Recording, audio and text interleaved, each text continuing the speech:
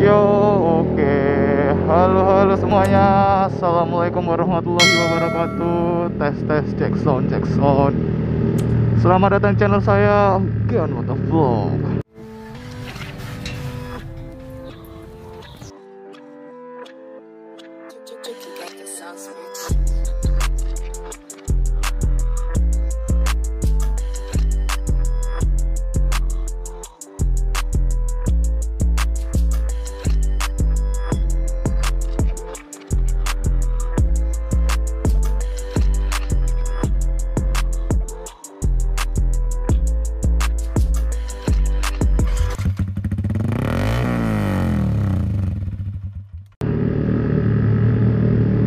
Oke semuanya, selamat pagi, siang, sore, malam. Selamat hari Minggu buat kalian yang sedang menjalankan San Mori atau aktivitas lainnya. Yuh. Sekarang udah jam setengah sepuluh. Emang sebenarnya hari ini nggak ada rencana San Mori sih. Dan ini maaf juga kalau kemarin saya nggak upload video saya yang kemarin itu sebenarnya udah bikin video cuman uh, salah ngatur resolusi pak. Jadi nggak bisa diedit di HP dan akhirnya mungkin hari ini saya ngulang lagi. Buat video yang kemarin lagi. Oke di video kali ini mungkin sama kayak kemarin. Yang gagal saya akan membuat perbandingan antara motovlog pakai action cam Xiaomi Y saya dan motovlog pakai HP kalau saya sih HP Vivo Y95 ya. Dan di sini saya juga akan beritahu kalau video-video kayak gini saya menggunakan bahasa Indonesia full ya. Nggak pakai bahasa Jawa. Kecuali emang kalau Sanmori dan gak bahas apa-apa gitu mungkin saya campur bahasa Jawa. Tapi kalau hmm, kayak bahas gini itu saya nggak pakai bahasa Jawa saya pakai full bahasa Indonesia biar yang lain juga tahu. Oke mungkin dari HP dulu ya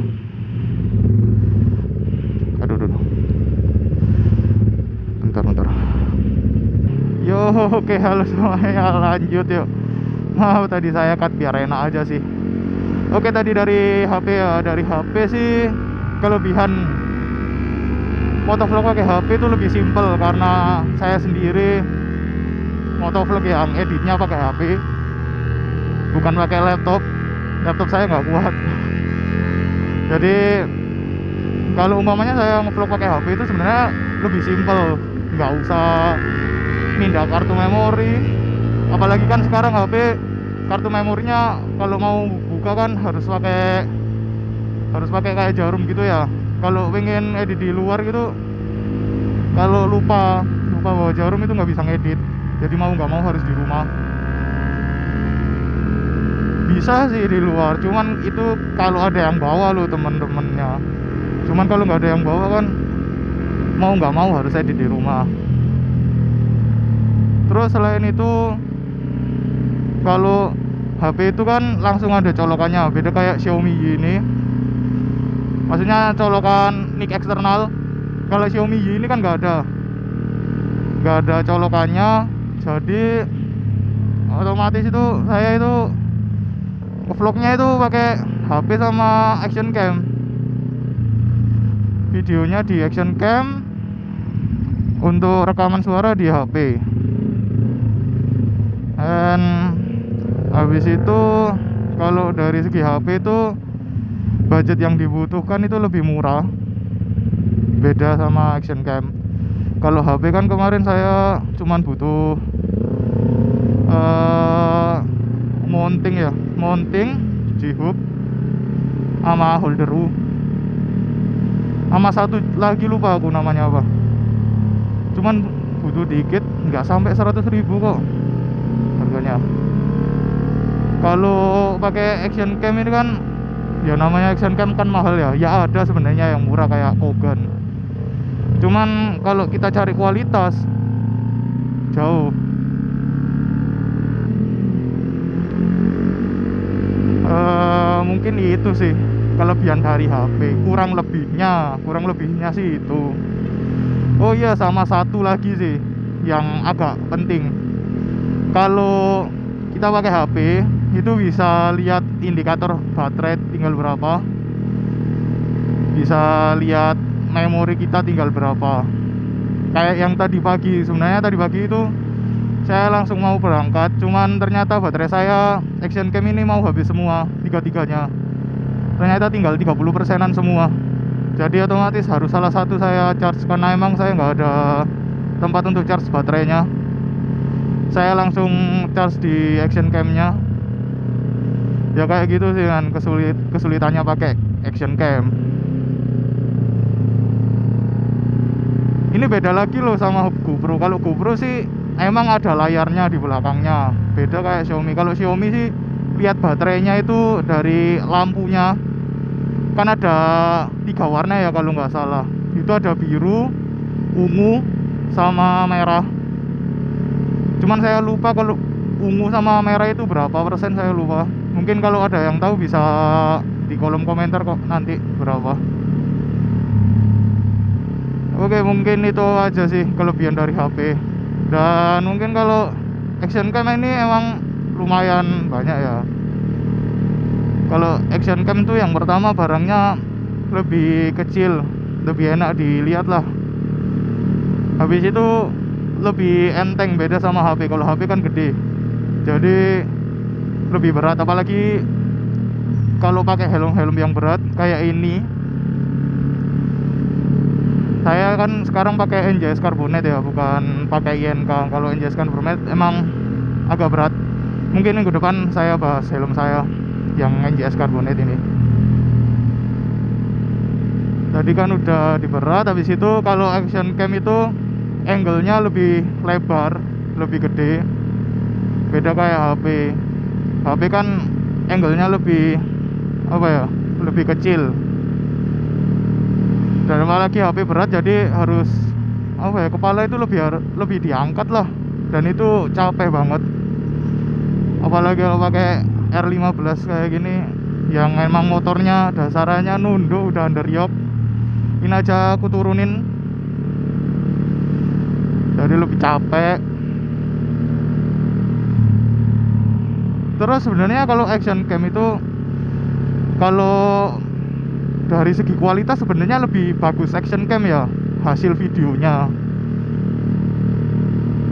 Cuman kan jadi ini itu ada kualitasnya lebih tinggi. Kalau kemarin-kemarin kalian lihat di vlog saya yang pertama sama yang kedua yang HMV itu emang hasil kualitasnya kayak biasa aja karena emang tingkatan resolusinya saya rendahin satu tingkat. Sebenarnya ada lagi yang lebih tinggi dari kemarin itu. Cuman karena saya editnya di HP bukan di laptop jadi nggak kuat HP saya. Dan laptop saya juga sebenarnya nggak kuat. Laptop saya laptop lama soalnya. Saya kemarin udah coba-coba di Adobe Premiere ternyata nggak kuat buat Adobe Premiere jadi ya kayak gini deh saya bikin lagi. Ya mungkin ada rencana mau upgrade laptop mungkin masih nggak tahu lah kapan. Soalnya juga habis ini uas sama udah kelas 12 jadi harus lebih banyak belajar daripada main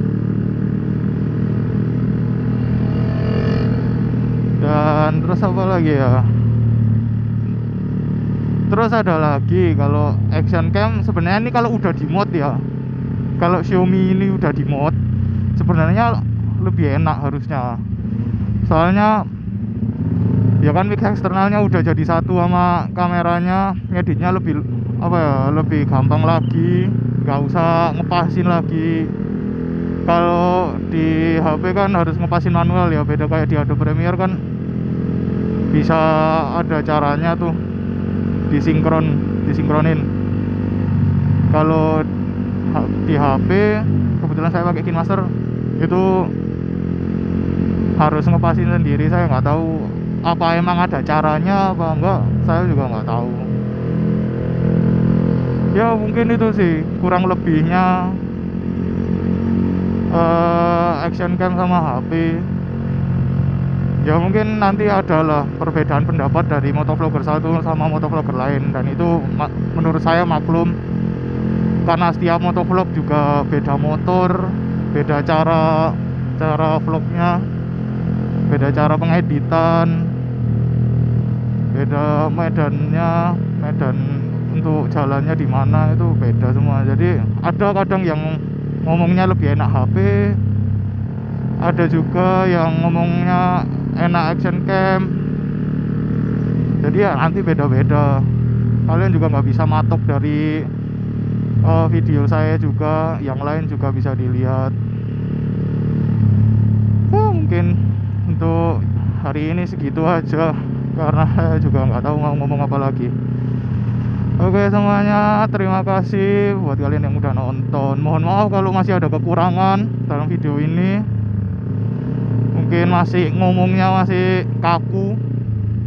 Kalau pakai bahasa Indonesia karena nggak kebiasaan sebenarnya saya pakai bahasa Indonesia.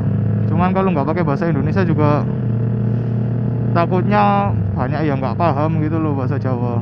Dan saya juga agak males kalau pakai subtitle subtitle. Jadi ya udah nggak apa-apa pakai bahasa Indonesia walaupun agak lucu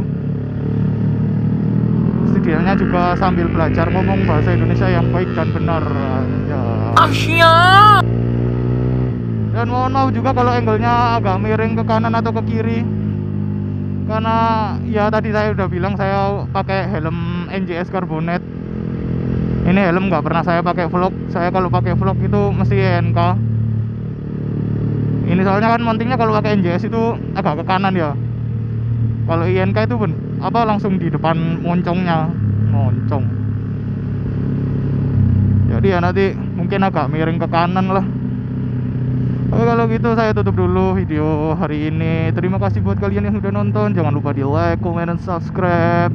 Saya bukan Tara dan channel Hugan Motovlog. Pamit dulu. Assalamualaikum warahmatullahi wabarakatuh And bye guys